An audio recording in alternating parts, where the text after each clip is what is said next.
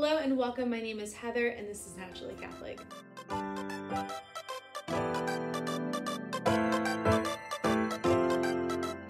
Hi there, if you're new, welcome. My name is Heather. I am a mother of five. I am a homeschooling mom, so I post a lot about homeschool on this channel. We talk a lot about gardening here and other things along those lines of homemaking and living on property. If that's something that's interesting to you, please go ahead and subscribe. And in today's video, we're going to be talking about my three different labor and deliveries. So I'm just going to give you a little backstory on who I am and how I got to the point to where I am today. I have four beautiful children and I am pregnant with my fifth currently. When I was very young, we started our family and I had no idea what I was doing. I feel like I really didn't have anyone that was pregnant around me to really kind of like look up to and ask questions. So for me, it was kind of like just this new thing that I was kind of going through on my own. Um, so I didn't know a lot about like what I needed to be doing, how I needed to prepare. Um, and so I ended up having a C-section. So I don't know if that was just by by bad luck or um, if what transpired that morning of my C-section was absolutely necessary. I felt like now as an adult looking back, I could have totally used my voice a little bit more and maybe I wouldn't have had a C-section from the start but it's just hard to say. So if you're a new mom or a, like maybe a mom who's had like a past C-section and you're wondering about VBAC and the chances that you have, I'm going to talk a little bit about every little um, experience that I've had in labor and delivery in this video. So like I said, when I had my first, I was very young. I was 19 and I just turned 20 and I gave and I delivered him. So let me just start from the beginning. So I was 38 weeks pregnant and I remember very like vividly what happened. I was going on a walk and I was feeling a lot of pressure um, down in my abdomen, which now I know is just contractions, but I had never experienced them before. Um, and so I was experiencing those and it kind of just con concerned me. So I remember telling my husband that I needed to like just get these checked out. So we went to the hospital that night and they checked me and everything was fine. They did want to monitor me a little bit longer just to make sure that the contractions weren't doing anything. So while they were monitoring me, they did see dips in the baby's heart rate, which concerned them. So they called my doctor and my doctor said, you know, well, since she's here already, why don't we go ahead and do an induction the next day? So when I went in, it was around eight o'clock. So I had to stay the night. They monitored me all night. And then the next morning, they said at six o'clock, 6 a.m., we would start the induction. So at 6 a.m. the next morning, after watching the baby's heart rate dip and kind of like level back out all night, they decided that they would start me on Pitocin. And here's where I wish I would have used my voice. So I have been on Pitocin with past pregnancies that I have had successful labor and deliveries with, but with this one, they started me on a really high dose of Pitocin, which I think just set me up for failure from the get-go. They started me on Pitocin, and I wish I could remember the level. I just remember telling my doctor with my third the level, and he was like, wow, that's really high to start you on just out of the blue. And I can't remember what it is, but I just remember being way too high. And an hour into that, having Pitocin for one hour, the baby's heart rate, rate completely like dipped. And it, all the nurses ran in, they checked me, they were trying to find the heart, heart rate, his heart rate, and they couldn't find it. And um, it kind of seemed a little scary, but everything ended up being okay because they were able to find it. They talked to my doctor. My doctor said, well, you know what? Baby's heart rate has been dipping all night. Why don't we go ahead and just schedule a C-section? So I ended up having my C-section a few hours later and baby was here, healthy. Nothing was wrong with the baby. The heart rate looked great. There wasn't like cord around a neck, around the neck. There wasn't a knot in the umbilical cord. Nothing like that that would have like pushed to have an emergency C-section. So that's kind of the backstory on my C-section, my very first one, and why I had to have it. Again, that made, made me a perfect candidate for a VBAC in my future. Fast forward, I think it was two years, two and a half years, I end up having a repeat C-section. So This time I did try to find a doctor who was VBAC friendly, which I did find, and he was a really great doctor. I did all the things. I felt like I had a little more knowledge, but I was still very scared and I felt like I didn't again use my voice because at 40 weeks, my doctor said, Hey, why don't we go ahead and just schedule um, a repeat C section?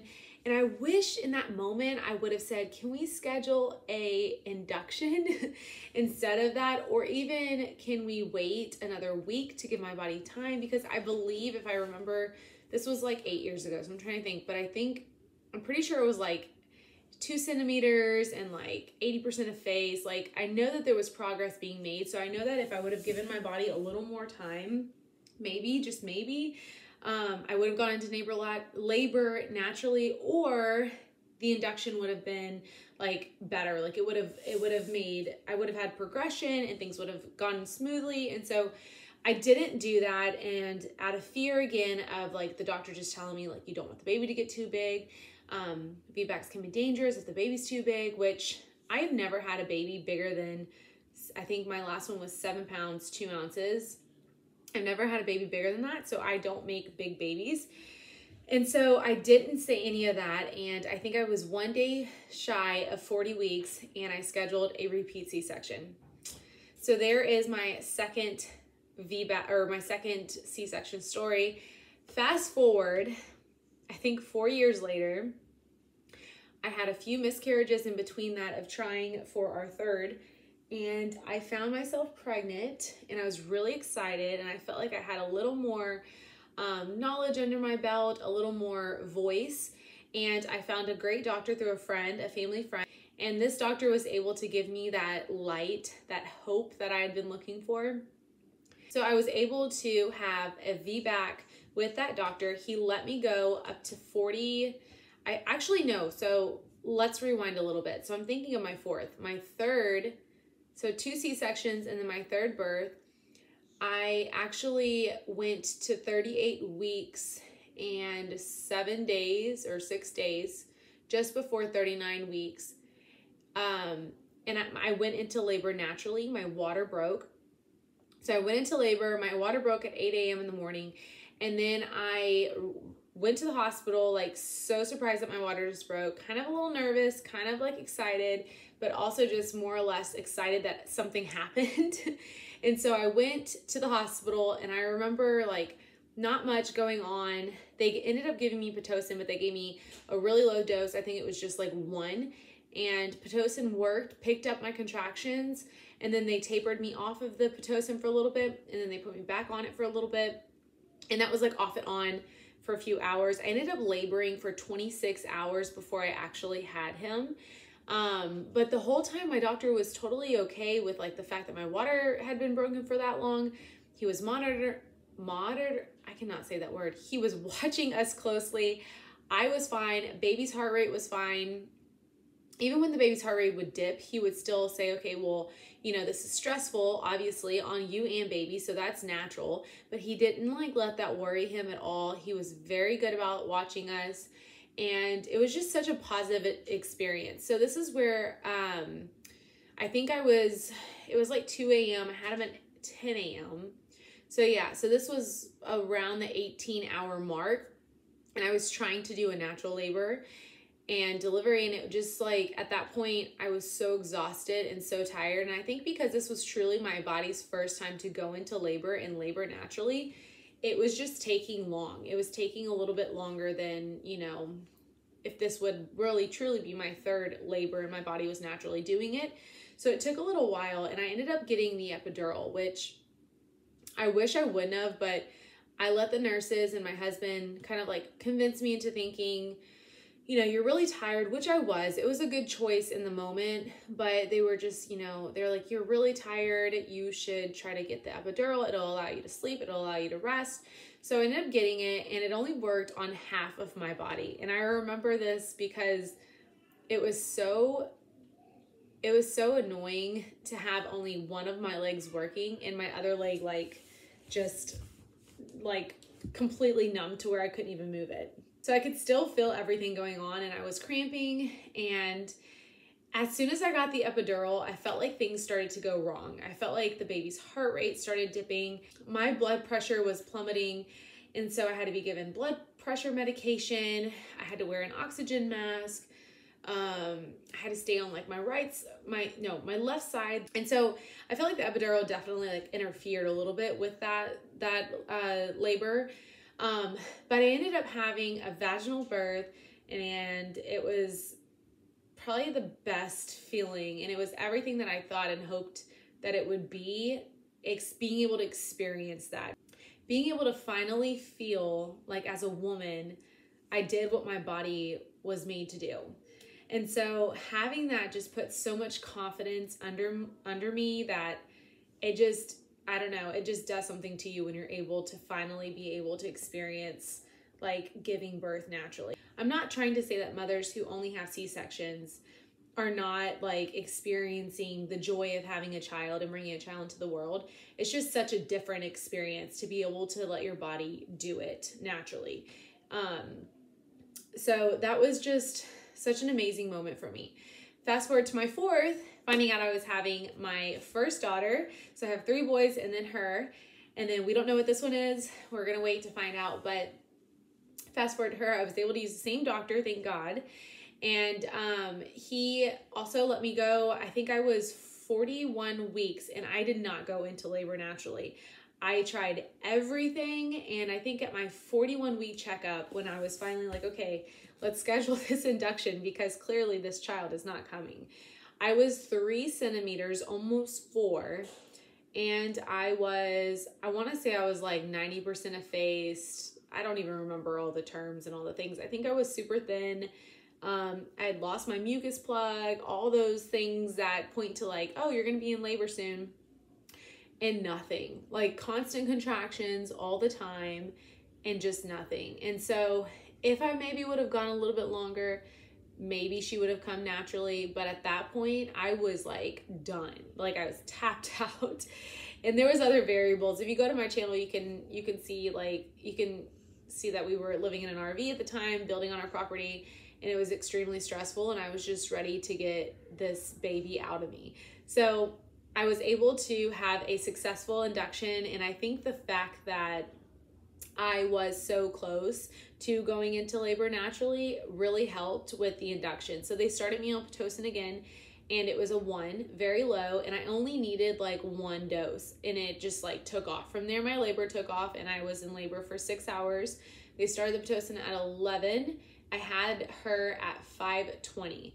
And so it just like, it started my Pitocin, and my contractions just picked up on their own. They stopped it. I didn't need it anymore um, I was able to go through all of the contractions really easily. And let me tell you, if you're looking um, into having a natural birth, in my opinion and in my experience, the hardest part is transition, which you'll get the shakes, you'll feel nauseous, and you'll just know like your body's going to transition.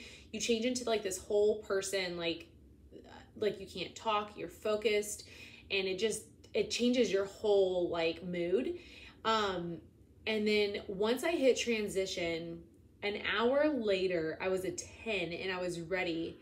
So, transition, I think you're about a six or a seven. And then I was ready to push. So, I went through transition and then I went to a 10 like super quickly. And um and it was time to push and I was thinking that I had gone through like the hard part, right? Like laboring naturally, getting through the contractions, being able to do that was like the hard part. But the hardest part of having a like natural labor and delivery is the pushing.